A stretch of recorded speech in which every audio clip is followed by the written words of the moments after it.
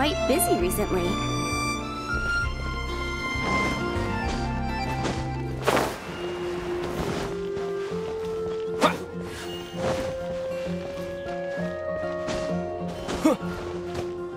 Better see Barbara at the cathedral if you're interested. This is our final call for the day.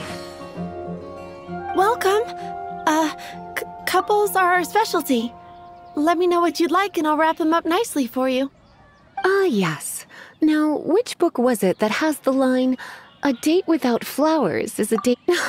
Why, it just so happens that I would, my kindest cutie. Some flowers for Miss Lisa? What would you like?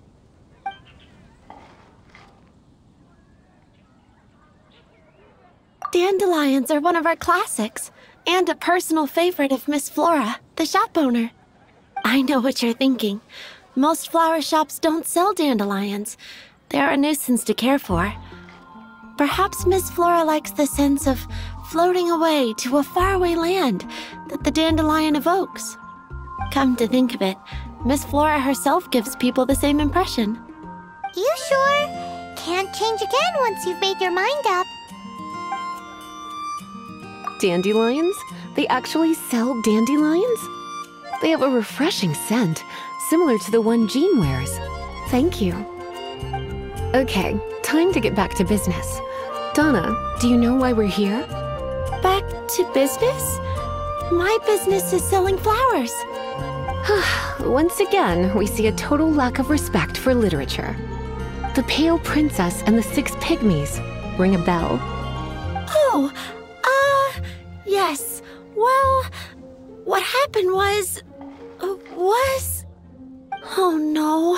What am I gonna do? I. I lost the book.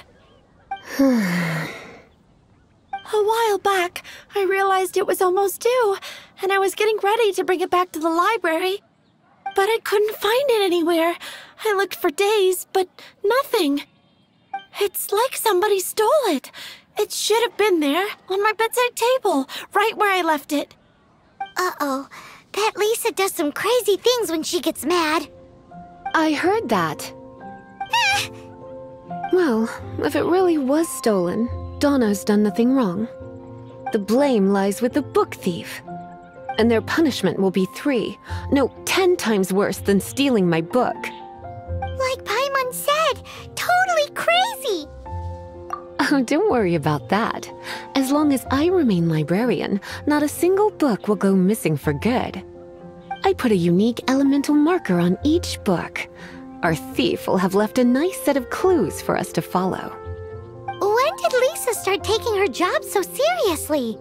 Paimon always thought she was a total slacker.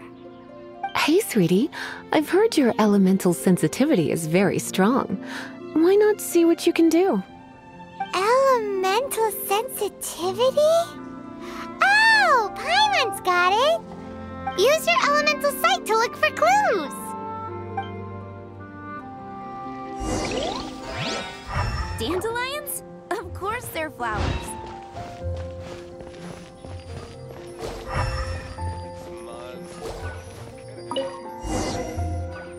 Looking at the elemental traces, it does seem likely that the book was stolen.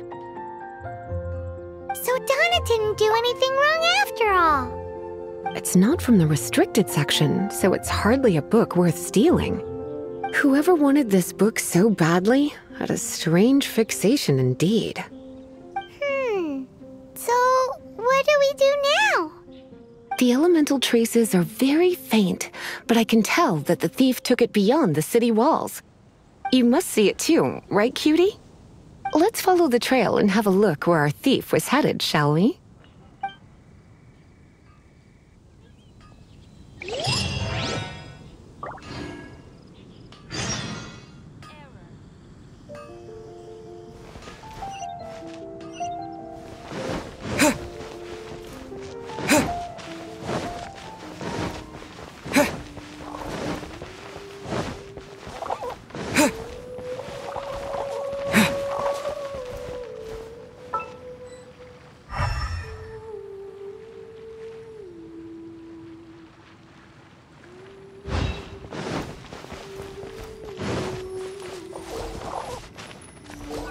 The elemental traces are strong here, but it seems our thief did not stay for long. The trail keeps going. Let's keep looking.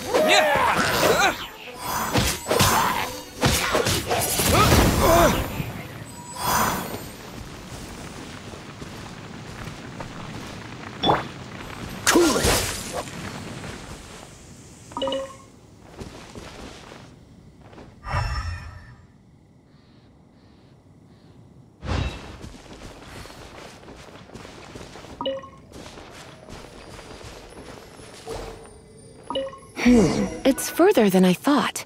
Quite the intrepid explorer, our little thief. Maybe we frightened the turtle back inside his shell.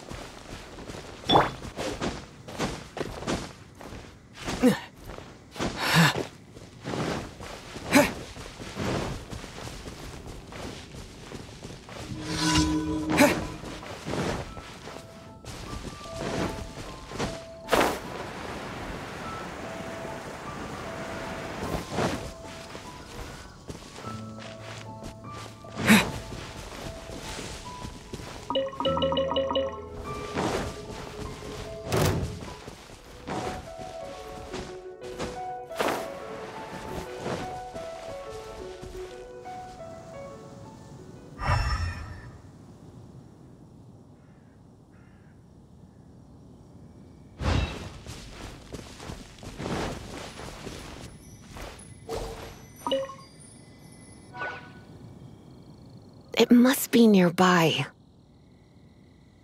Using elemental sight, you can even detect magic. Follow the flow of magic to find the book.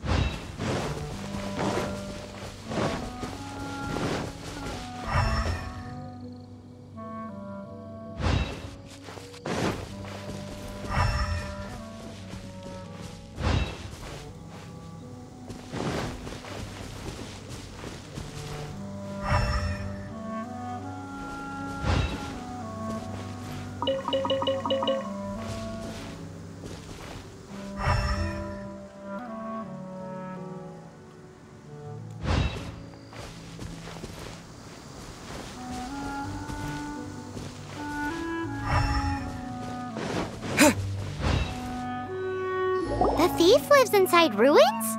Mondstadt people do have some strange quirks. Please do not jump to such a preposterous conclusion about the living habits of Mondstadt's residents. This seems far more likely to be the work of some none too friendly troublemakers. It's not unlike them, in the sense that they are known for darting around amongst underground ruins. But adventurers do not typically take others' belongings. Well, not from the living, anyway. This is more likely to be the Abyss Order's doing. They do seem to have a way of slipping in and out of places like ghosts, after all. Also, there's an elemental seal at the entrance. It looks like the result of an Abyss mage's magic. A seal? How are we gonna break it? Is this gonna turn into another huge ordeal? Not to worry. If you think a little magic can keep me out, think again.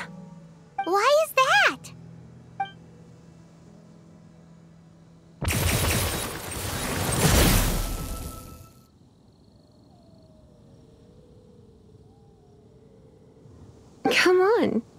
Whoa! So this is what Lisa's like when she's hard at work.